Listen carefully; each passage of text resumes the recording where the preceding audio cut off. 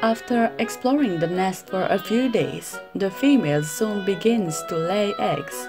Eight days after mating, the female will lay her first egg in the nest. But before that happens, certain changes are noticed.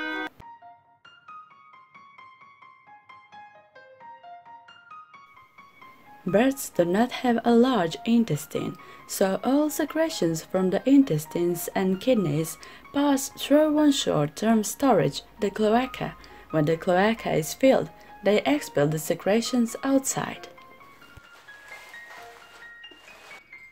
The egg will also pass through the cloaca because the fallopian tube ends in it, as it is quite large in relation to the size of the bird itself it is necessary for the cloaca to expand in order to receive the egg. Therefore, immediately after fertilization, it will begin to spread slowly until it reaches the required size. Therefore, the excrement that collects in the sewer will accumulate longer and come out less and less every day, but in larger parts. Increased bird droppings are the best sign that mating has taken place and that the budgie will soon lay an egg. In order to make it easier for the birds to expel feces of these days, which reach the size of an egg of the seventh day and requires a great deal of effort to get rid of it, she should be given as many vegetables, fruits, and greens as possible.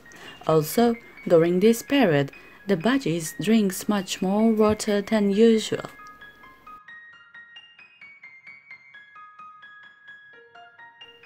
If you suspect that your budgie is gravid, pick her up and gently feel the area around her vent. If she has eggs, you'll feel a soft but solid lump in that area called an egg bump. However, do not do this if you do not have experience.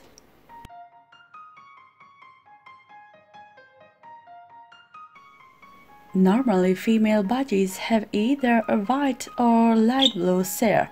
As the breeding season grows near, the cere can change color to brown or of white. Also, it can become thicker and crustier.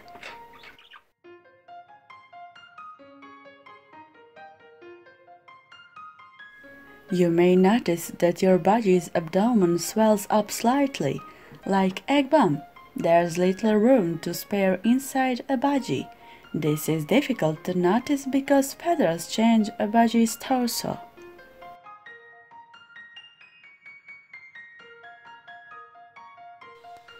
Budgies develop a small patch of bare or featherless skin around their vent during the breeding season. This is called the brood patch and is a sure sign of readiness to mate. It can tell you for sure that the budgie is gravid, but it can indicate that it will happen soon.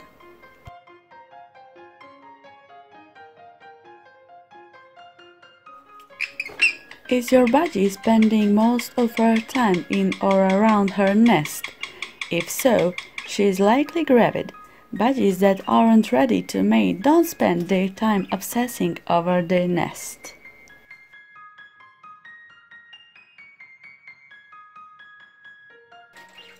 As she gets closer to laying an egg, your bird may display behavior such as compulsively cleaning herself or part of her cage, or moving around her cage in a repetitive manner.